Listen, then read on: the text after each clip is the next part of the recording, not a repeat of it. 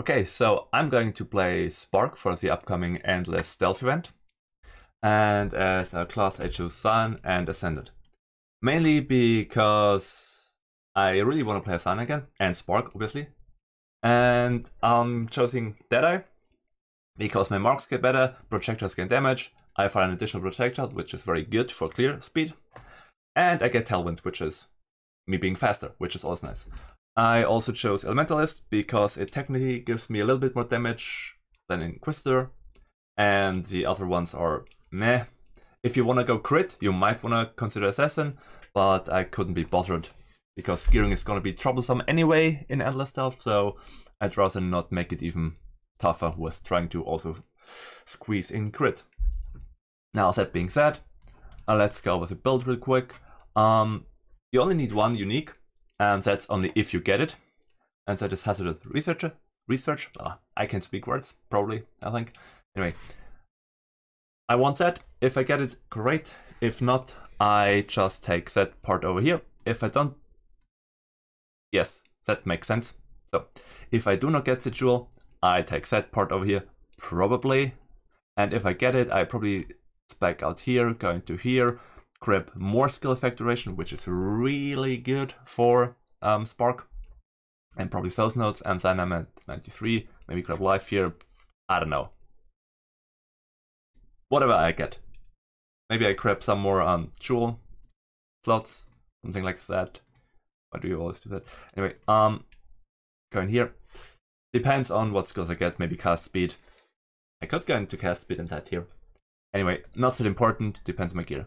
And I go over here, grab some block nodes. They also give me a little bit of um, resistances, which you will going to be struggling a lot in Endless Delve. Believe me, you don't have a crafting bench, so you can't fix up your resistances very easily.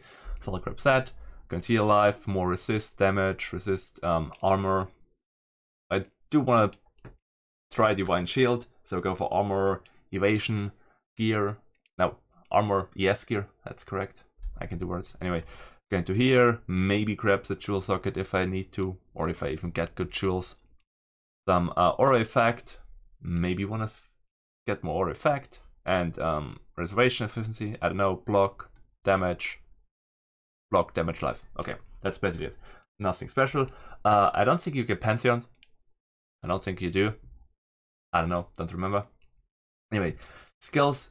For my auras, I try to get Determination, Wrath, and Tempest Shield in, which should be working out. I still have 200 unreserved mana left. Get some mana regen. with a 68 mana cost. I'm probably gonna be struggling a little bit. So I'm really hoping to get some additional mana regen on gear. Maybe if I can get a total of 50%, that would be golden. That would put me just enough so I can cast most of the things. Maybe I have to spec in some more mana nodes here or God forbid, take a mana flask. But we don't want that. Um, for leveling, if you can't fit in both Wrath and Determination, you can also choose Purity of Elements, which I probably recommend anyways, at least while leveling, until you get good enough gear to get your resistances. And if you don't want to bother with uh, ailments, you can always choose Purity of Elements for that. So there's that too. Anyway, uh, Flesh and Stone and Arctic Armor if you want a freeze immunity, which, yeah, might be helpful, especially early on. So probably I start with um, those three here and only use it once later on, the upper ones later on. Maybe I change it around depending on how I feel. I don't know yet. Tempest Shield is nice because many of its block, which is good. And additional block gives me additional damage thanks to said block mastery node, which gives me 3% increased spell damage per 5 chance to block spell damage. I only go to 56% spell block and only have 31 non-block chance, which is kinda meh. I could think about Glancing Blows, but honestly, Glancing Blows is really bad if you don't have a Shaper Shield, which gives you um, Energy Shield or Life or Block. I think both is possible. So without that, Glancing Blows is kinda meh, and you don't want it actually. Anyway, uh, Spark. Usually I try to get Vaal Spark, preferably 21 if I can get it. That would give me another 8k DPS. I think this is per projectile, considering multiple projectiles can hit and bouncing off walls, yada yada yada. You know how Spark works. Um, kind of good. should also work very well for clearing. And the occasional boss, if I'm lucky, my Drogas finds the arenas are usually a bit too big for Spark, but depending on how much uh, movement, uh, yeah, projectile speed you get and how much duration, skill duration, you might be able to take uh, good advantage of Spark. And depending on where your enemy or the boss runs around, if you get him in a corner, you can pretty much melt enemies with Spark, so that's good. Uh, Pierce, Lightning Pen, and Spell Element Focus. I'm not gonna do much with um, Shock anyway, so from my main skill, so unfortunately, so I take that, it gives me just more damage. I can still shock, and my shocks will give me, I will always at least be uh, increased damage take by at least 10%, thanks to Elementalist node here.